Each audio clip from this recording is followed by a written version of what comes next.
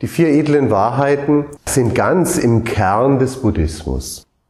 Buddha hat gesagt, solange er die vier edlen Wahrheiten nicht erkannt hatte, hat er sich nicht als vollkommen erleuchtet bezeichnet und gefühlt. Aber dann schon. Die vier edlen Wahrheiten sind eine Frucht der Nacht der Erleuchtung und er hat sie schon in der ersten Lehrrede im Wildpark von Isipatana gelehrt. Ja, worum geht es? In den vier edlen Wahrheiten geht es um das Leiden, so wie wir das kennen. Wir alle haben schon gelitten. Wir alle haben im Schicksal gehadert. Wir haben uns gewünscht, dass doch, sich doch endlich mal ändern möge, dass wir auch mal Glück haben mögen und so weiter und so fort. Und das ist zutiefst menschlich und das hat der Buddha sehr klar gesehen, bevor er sich auf seinen spirituellen Weg gemacht hat.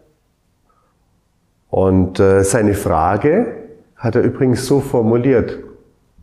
Er hat das Leiden gesehen, in Form von, vor allem von Krankheit, Alter und Tod. Und er hat sich gefragt, ob es denn nicht einen Weg gibt, dieses Leiden zu überwinden. Und das war der Ausgangspunkt seiner Suche. Und dann hat er angefangen. Er hat Meditation studiert bei zwei bekannten Meditationslehrern. Er hat sehr tiefe Meditationszustände erreicht. Aber er hat gesagt, das ist nicht das, was ich will. Es ist zwar so, wenn ich in tiefer Meditation verweile, dann gibt es keine Probleme mehr. In diesem Augenblick ist alles gut. Aber in dem Moment, wo ich die Meditation verlasse, ist alles wieder genauso, wie es vorher war. Ja, ihr versteht schon ein bisschen das Problem. Meditation kann auch eine Flucht vor der Welt sein. Kann sein, muss nicht sein. Ja? Ganz wichtiger Aspekt. Und der Buddha hat die Meditation eigentlich in dieser Form kennengelernt. So ist es ihm beigebracht worden als junger Mann. Und er hat gesagt, das ist es nicht. Er will ja am Leben teilnehmen. Er will ja leben mit den anderen Menschen. Er will ja leben mit seinen Verwandten, mit seinen Freunden, ohne zu leiden. Und nicht in einer Meditation sich sozusagen wegbegeben, in der der Geist völlig zur Ruhe kommt und sich gar nichts mehr tut. Das ist nicht das Leben, was er will. Also hat er weitergesucht, er hat es mit Askese später probiert, jahrelang, hat vor allem extrem gefastet, ist dabei extrem abgemagert und ähm, auch fast daran gestorben. Ja, und hat dann eben es noch einmal mit Meditation probiert. Der feine Unterschied war jetzt der, er hatte sich es ging nicht mehr darum, besonders tiefe Meditationszustände zu erreichen, in denen der Geist völlig zur Ruhe kommt, sondern er war zufrieden mit einem Meditationszustand mittlerer Tiefe, so hat er das genannt. Mittlere Tiefe, das war für ihn, ist für uns schon tief, ja. Also jetzt, wenn jemand Angst hat, der meditiert zu tief, also ist schon tief. Indem tiefe Stille in ihm einkehrt, aber dennoch der Geist erkenntnisfähig bleibt. Das heißt also, Gedanken sehr wohl vorhanden sind. Das war so sein Versuch. Ja, und so hat er dann meditiert in der berühmten Nacht der Erleuchtung und hat die vier edlen Wahrheiten gefunden. Und über die wollen wir heute sprechen. Und sie sind die vier edlen Wahrheiten vom Leiden. Und die erste ist, wie gesagt, das Leiden überall dort ist, wo Menschen sind, dass jeder es kennt, und die zweite edle Wahrheit ist schon ganz wichtig. Da geht es dann um die Ursachen des Leidens. Was sind eigentlich die Ursachen des Leidens? Und in der Einleitung, in der ersten edlen Wahrheit, hat Buddha zu, als Beispiele für Leiden ganz normale Dinge genannt, wie wir das auch sehen würden. Getrennt sein von Lieben ist Leiden, äh, das nicht bekommen, was man will, ist Leiden, und natürlich auch Krankheit und Alter und lauter so ganz normale Dinge hat er genannt. Ja, wie wir das ja vielleicht auch genannt hätten. Aber in der zweiten edlen Wahrheit kommt er jetzt daher mit den Ursachen des Leidens Und es sind auf einmal nicht mehr diese Dinge der äußeren Welt, wie Krankheit und nicht das nicht bekommen, was man will, sondern auf einmal sind die Ursachen des Leidens Gier, Angst, Ärger, Wut und solche Dinge. Also negative Emotionen. Ich meine, es ist schon verständlich, die eine Ebene ist natürlich sehr leicht verständlich. Ist klar, jemand, der wütend ist, ist nicht glücklich. Das kann man, glaube ich, so pauschal einfach mal behaupten. Und wer sich ärgert, auch nicht. Ich meine, man kann dann wieder glücklich werden, ja, wenn man sie aufhört, sich zu ärgern. Aber wenn man sich ärgert, ist man nicht glücklich. Das ist ganz interessant, dass der Buddha auf einmal die, ähm, den Grund für unser Leiden eine Stufe nach innen verschiebt. Unser normales Denken ist immer das, dass äußere Umstände, denken wir, würden voll durchschlagen auf unser inneres Empfinden. Wenn etwas, wenn wir Glück haben, wenn wir im Lotto gewinnen, dann müssen wir ja glücklich sein. Wenn wir das bekommen, was wir uns wünschen, zu Weihnachten zum Beispiel, dann müssen wir ja glücklich sein. Wenn wir das nicht bekommen, was wir wollen, oder wenn wir krank werden, oder wenn wir uns etwas verlieren, das wir sehr lieben, müssen wir ja unglücklich sein. Aber diese Zusammenhänge sind eben nur Gewohnheiten und keine Naturgesetze.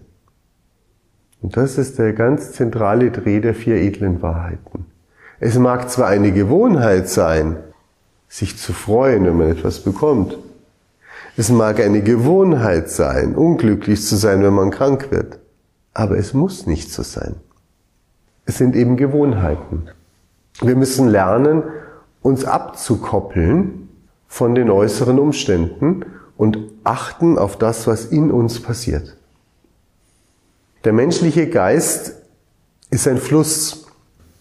Und denken wir mal daran, am Anfang des letzten Jahrhunderts haben die Menschen unglaublich viel schon ähm, Abwässer produziert über Fabriken und in den Städten und alles in die Flüsse geleitet und haben die Flüsse damit völlig vergiftet. Und die Fische konnten nicht mehr leben und die Wasserpflanzen konnten nicht leben, man durfte nicht mehr baden in den Flüssen weil es zu ungesund war. Und wir haben dann später im letzten Jahrhundert gelernt, unsere Abwässer zu klären. Sowohl in den Städten als auch in den Industrieanlagen.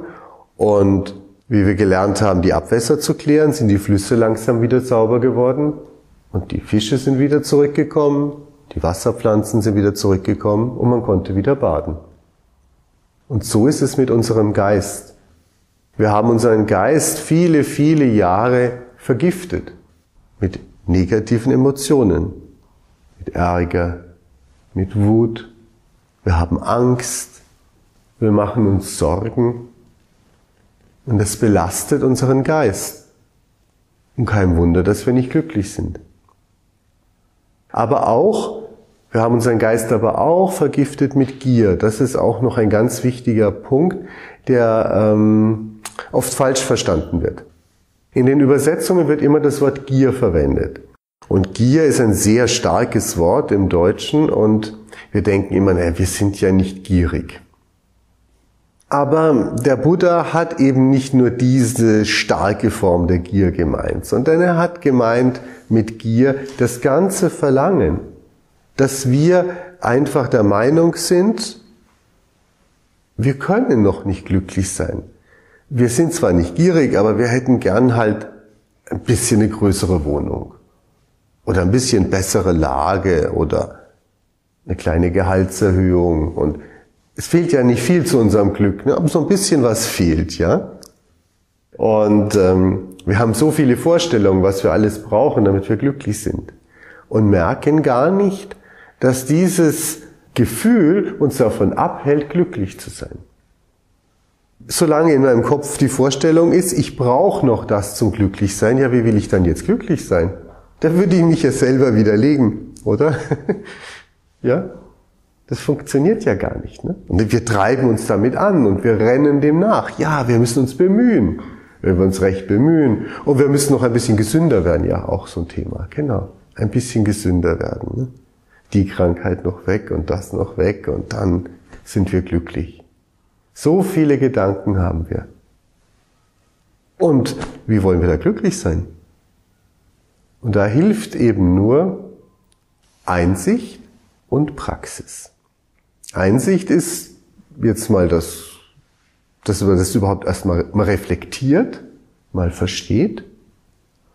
Und Übung ist, dass man lernt, einfach sich mal hinzusetzen und alles loszulassen. Alles. Also, ich brauche keine größere Wohnung. So, so wie es jetzt ist, super. Ich kann hier sitzen, toll, ne? Also einfach mal hierher setzen, ja. Loslassen die Vorstellungen an Geld, an Wohnung, an Gesundheit, alles. Einfach mal sitzen, den Atem spüren, die Stille spüren. Ja, und wenn es gut läuft, merken wir, es ist alles da, um glücklich zu sein. Oder?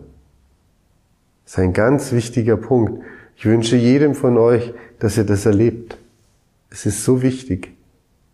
Weil dann wissen wir aus eigener Erfahrung, ja, wir können uns lösen. Wir brauchen nicht hinterherlaufen hinter diesen Dingen. Wir brauchen sie nicht. Wir können auch glücklich sein, wenn wir krank sind. Ich durfte das letzte Woche übrigens üben, ja. Ich habe eine ganze Woche Grippe gehabt und sehr zäh erholt. Bin heute noch ein bisschen geschwächt. Ja, aber deswegen kann ich auch glücklich sein, oder? Und es ist so wichtig, dass wir das lernen und dass wir das erleben, dass wir das üben. Und deswegen bin ich ein großer Freund der Morgenmeditation. Empfehle immer wieder, jeden Morgen meditieren. Es ist nicht wichtig, wie lange, aber sich diese Gewohnheit geben. Das ist schon ein starkes Statement. In der Früh, wir wachen auf.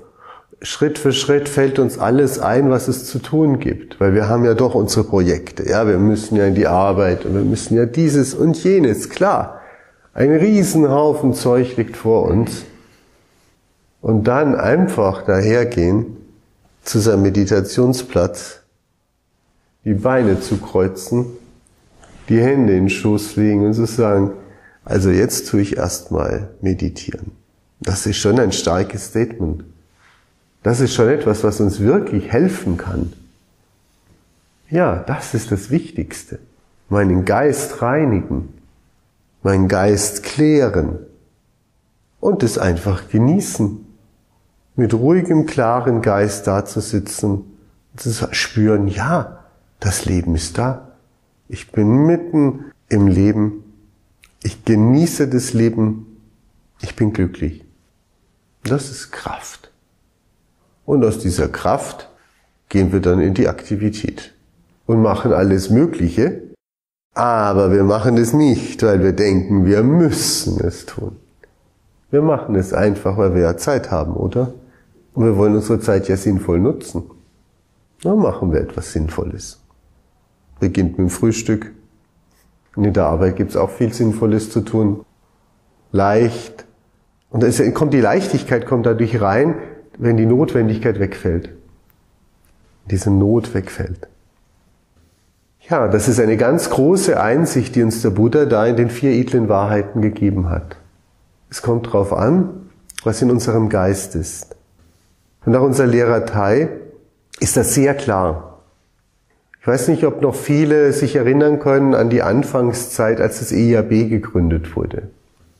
Und damals gab es sehr viele, die sich sehr große Sorgen gemacht haben, weil ähm, vor allem weil das Gebäude sehr groß ist. Das EIAB ist extrem groß und man hat sich halt Sorgen gemacht, ob die Mönche und Nonnen das werden erhalten können ob das möglich sein wird, so viel Geld ähm, aufzutreiben, wo das herkommen soll und ähm, vielleicht auch Angst gehabt, dass zu viel Druck entsteht, dass die ähm, Freunde des EIAB zu viel spenden müssen. Naja, und so gab es viele, viele Sorgen. Und einer aus der Sangha hat Mut zusammengenommen und hat Tai um ein Interview gebeten und hat in diesem Interview sozusagen stellvertretend für alle Schüler von Thai in Deutschland die Sorgen geschildert und Thai gefragt, was er dazu meint. Das war schon ein interessantes Interview. Tai ist überhaupt nicht auf die praktischen Probleme eingegangen. Aber wie er die Geschichte von den Sorgen gehört hat, hat er gesagt, wenn ihr Sorgen habt, da müsst ihr euch drum kümmern. Da müsst ihr euch gut drum kümmern, dass ihr die Sorgen überwindet. Und das war sein ganzes Thema. Und Sorgen überwinden hatte nichts mehr mit dem EAB zu tun, sondern mit Sorgen. Ja, also hat genau diese Kurve gekratzt, über die wir jetzt reden. Er hat gesagt, das EAB, ja, ist doch nur ein äußeres Ding. Aber ihr macht euch Sorgen, das ist der Fehler. Das macht euch krank. Klar, das macht euch Schwierigkeiten, deswegen seid ihr nicht glücklich. Ihr müsst es lernen, diese Sorgen zu überwinden. Darum geht es. Und das war dann, ähm, das war das Thema seines Interviews. Ja, da ist unser Lehrer Tai sehr, sehr klar in diesem Punkt. Und das dürfen wir auch nie, nie vermischen. Andererseits darf man es aber auch nicht übertreiben. Das heißt also, grundsätzlich ist es so, dass wir lernen, uns gut um unseren Geist zu kümmern.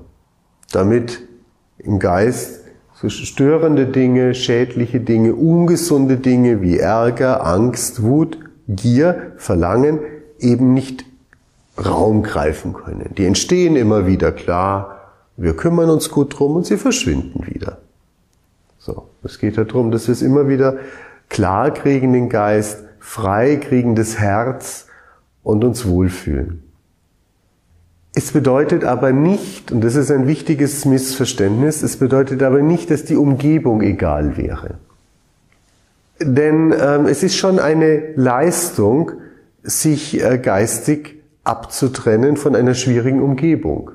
Ne? Die Aussage des Buddha ist zwar, es ist möglich, und der Buddha hat es sicher zu einem extremen Ausmaß geschafft, aber wir sind an unserer, stehen an unserer Entwicklung irgendwo an irgendeinem Punkt, irgendwo dazwischen. Und wenn wir in einer schwierigen Umgebung sind, wird uns das immer wieder runterziehen.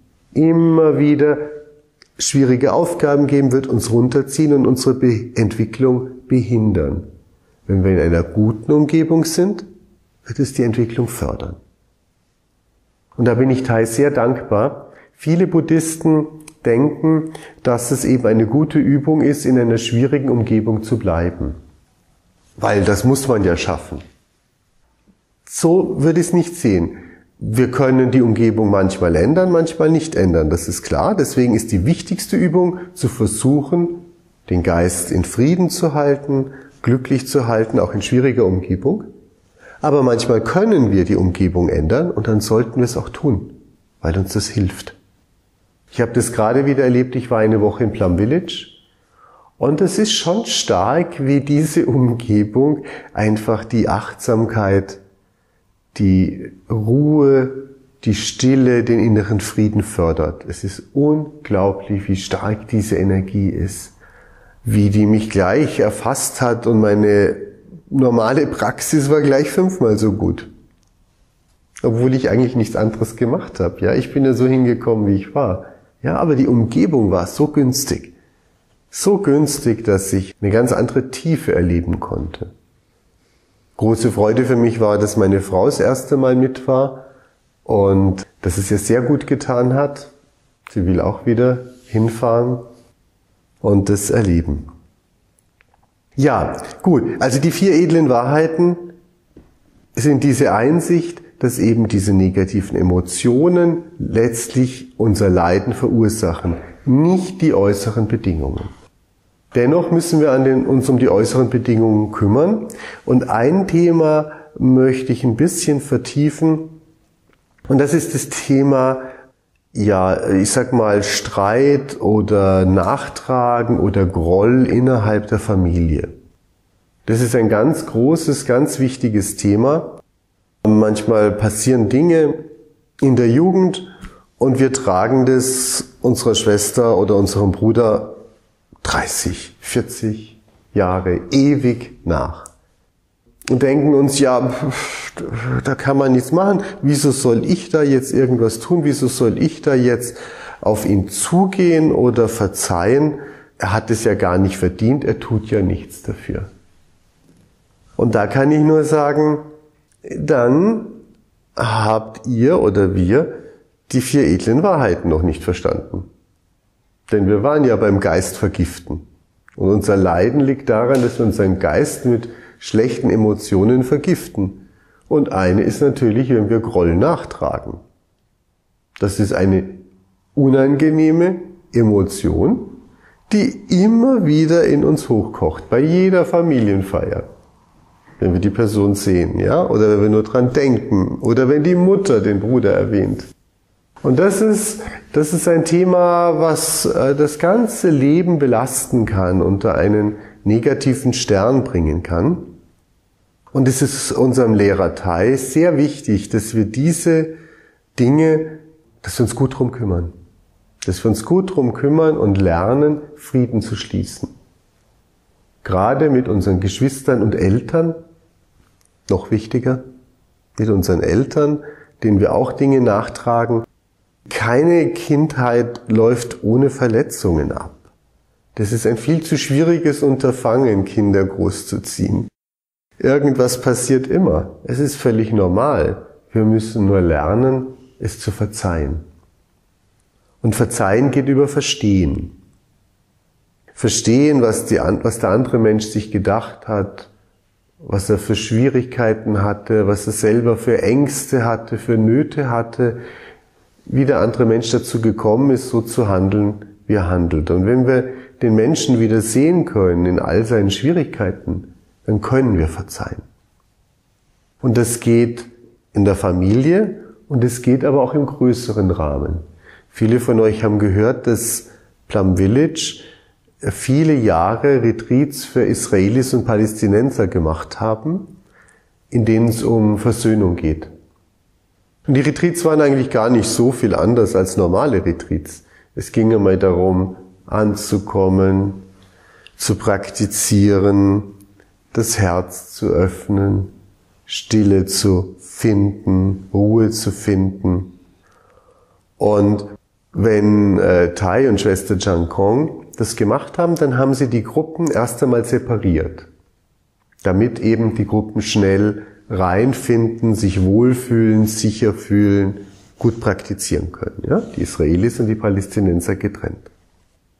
Und sich mit ihrem Leid beschäftigen, was sie erlebt haben. Und lernen das anzunehmen und zu verwandeln. Aber der Höhepunkt dieser Retreats war natürlich immer der, wenn am Schluss die Gruppen zusammenkamen. Und wenn es darum ging, dass Teilnehmer von ihrem eigenen Leiden berichten. Das ist immer der Höhepunkt. Und das wurde abwechselnd gemacht. Also mal haben Israelis über ihr Leiden berichtet und mal haben Palästinenser über ihr Leiden berichtet.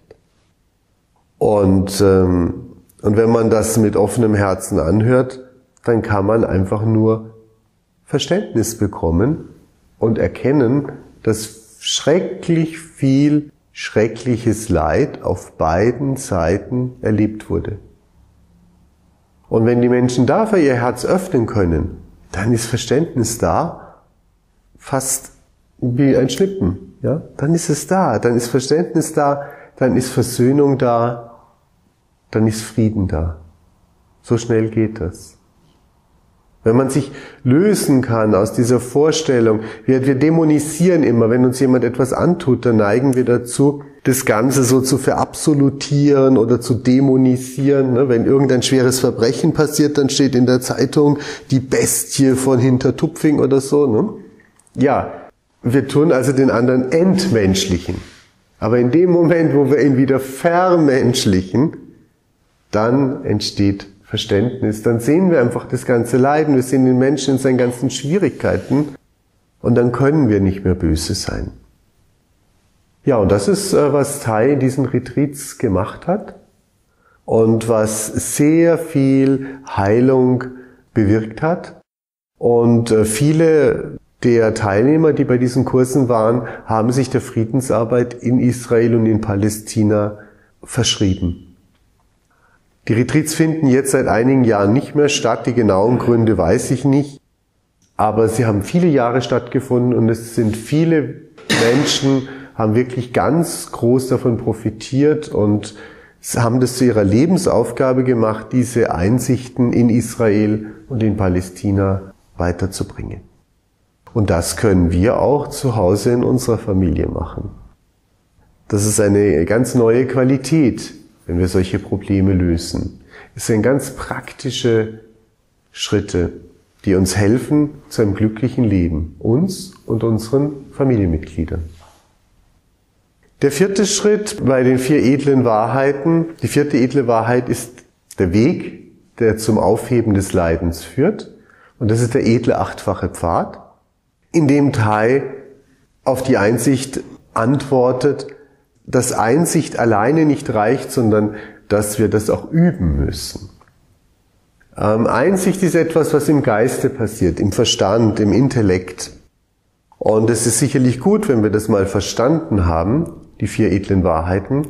Aber diese Prinzipien müssen wir einüben. Wir müssen üben mit unseren eigenen Schwierigkeiten, mit unseren eigenen Vorurteilen, mit, mit unserem Hass und mit unserer Gier und mit unserer Vorstellung, es müsse so sein. Ja? Und daran müssen wir arbeiten. Und der Buddha hat uns da acht Themengebiete genannt, an denen wir arbeiten können. Eins ist eben die Einsicht oder Weisheit. Das ist klar, das ist ein Thema, mit dem wir uns auseinandersetzen müssen. Dann rechtes Denken ist das nächste. Über das spricht Tai eigentlich nie lange, weil er sagt, wenn rechte Einsicht da ist, dann entsteht daraus logisch gesehen rechtes Denken. Dann gibt es drei Punkte, die sich mit dem Handeln beschäftigen. Die möchte ich heute auch nicht vertiefen. Wir haben die fünf Achtsamkeitsübungen und die das konkretisieren. Buddha hat es eingeteilt in das rechte Handeln, rechte Rede und rechten Lebenserwerb. Und die drei äh, letzten Übungen sind eben die Übungen, die eigentliche Geistesschulung. Da geht es um das rechte Bemühen, die rechte Sammlung und rechte Konzentration. Und das sind ähm, ja drei, zusammen mit der Weisheit sind es die drei Grundpfeiler unserer Plum Village Praxis. Also Weisheit, Sammlung und Achtsamkeit. Samadhi, Smriti und Prajna. Und das kennt ihr ja alle, wie wichtig es ist, dass wir nicht nur in der Meditation, sondern auch möglichst oft im Alltag zurückkommen zu unserem Atem, den Atem spüren und mit dem Atem in den Augenblick eintauchen, aufhören das ganze Denken an Vergangenheit, an Zukunft, sondern einfach spüren, ja, ich lebe, der Atem fließt, er strömt ein und aus. Ein und aus. Das ist Leben, pures Leben. Das können wir einfach genießen. Sollen wir genießen im Bus, in der Straßenbahn, im Auto. Das können wir genießen, wenn wir gehen. Das ist schon mal die wichtigsten Übungen. Wenn wir das schaffen, alles ist schon super. Ist unser Leben schon, schon äh, hat sich schon erheblich verändert und äh, da können wir schon wirklich glücklich sein. Grundsätzlich kann man es den ganzen Tag machen bei jeder Tätigkeit, aber es gibt schon Unterschiede im Schwierigkeitsgrad. Aber bleiben wir mal bei dem. Ne? Die Ruhe genießen, wenn wir irgendwo sitzen oder warten. Ja? Warten, es gibt kein Warten für uns. Das ist das Schöne. Ich war sehr früh da heute, weil es ist immer schwierig, im Berufsverkehr herzukommen. Also aus München rauskommen ist das eigentliche Problem.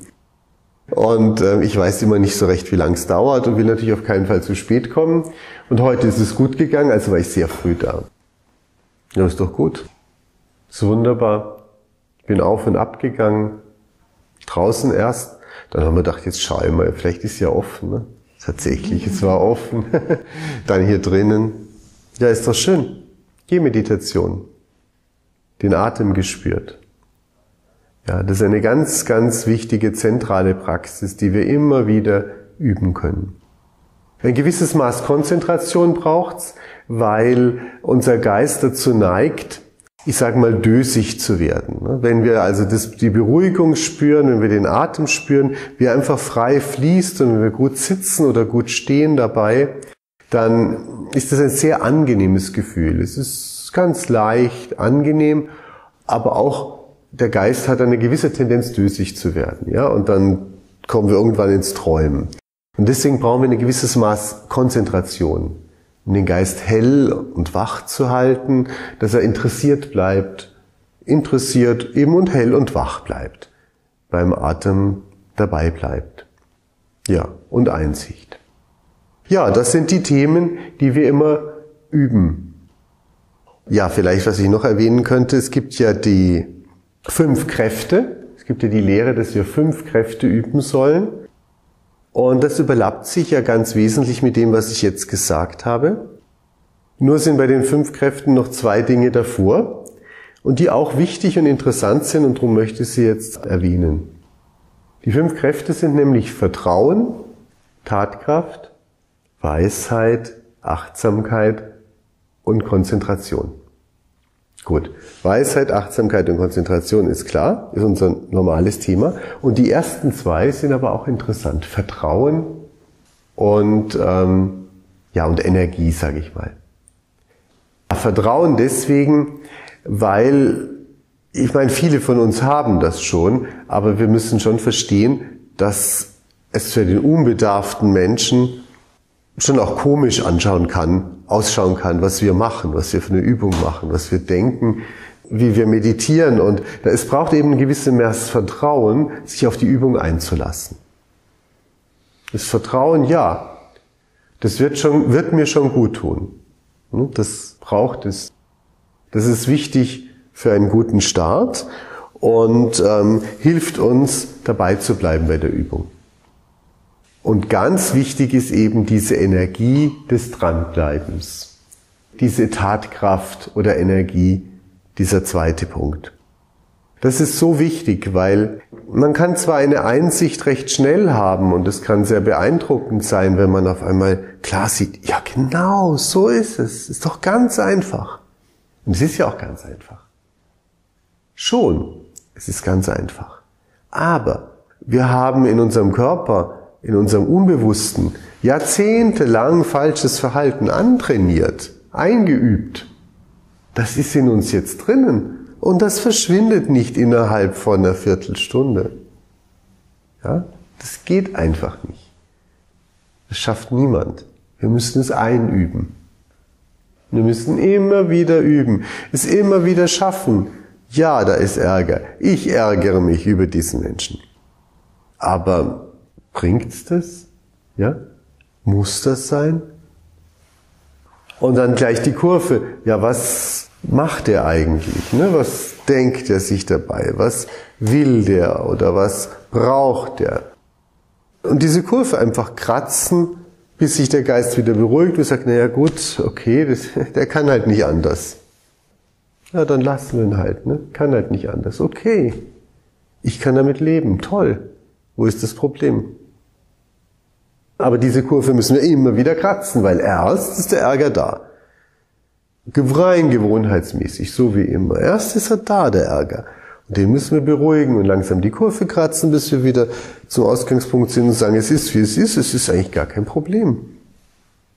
Ich verstehe gar nicht, warum Ärger kam. Das müssen wir einüben. Und wenn wir das oft machen, immer und immer wieder, dann werden wir schon merken, wie auch unser Unbewusstes sich verändert und wie es dazulernt und weniger heftig reagiert, gleich freundlicher reagiert. Ja, das, ist, das ist eine Herzenssache, die Übung braucht. Viele, viele Jahre Übung. Ich mache das jetzt 20 Jahre, diese Übung, und bereue keinen Tag. Mein Leben hat sich komplett geändert. Ich weiß nicht, ob mich noch viele wiedererkennen, die mich von damals kennen. Aber das muss auch nicht sein habe mich halt neu erfunden, bin ein neuer Mensch geworden. Ja, und ich wünsche euch viel Freude, viel Vertrauen auf den Weg, viel Tatkraft und übt fleißig. Immer wieder die Achtsamkeit üben, mit Konzentration aufrechterhalten und in der Tiefe und in der Stille, wenn immer wieder neue Einsichten kommen und wir werden es immer besser verstehen, wie das so läuft auf der Welt und werden immer mehr erkennen, es ist schon in Ordnung. Es passt schon. Ja, damit möchte ich es heute mal gut sein lassen. Danke fürs Zuhören.